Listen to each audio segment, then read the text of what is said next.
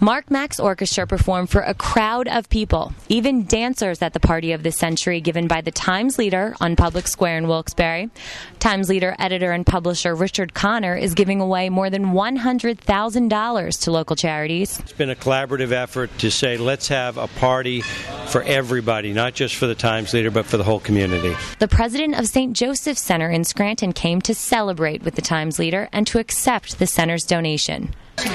Well, it was just uh, unexpected, and yes, we were delighted, and it's very touching to think that so many people uh, from this area uh, chose St. Joe's as the recipient of their $25. We never expected the response that we've gotten. And in fact, we've raised more than $100,000. We'll give the rest of it way, away throughout 2008. It's been incredible. Food's good, everything is nice, and we appreciate our donation. Thousands of people are walking this way to congratulate their favorite charity on the donation it received, listen to good music, and eat a variety of food. Got a good reaction so far. Uh, I mean, I did a pork di- I did a pork dish, so it's a little bit different. Not everybody eats pork, but who everybody's who eating it is liking it. They're doing. Oh, wonderful. I think it's great. It really is. Yes. It's wonderful, the whole community.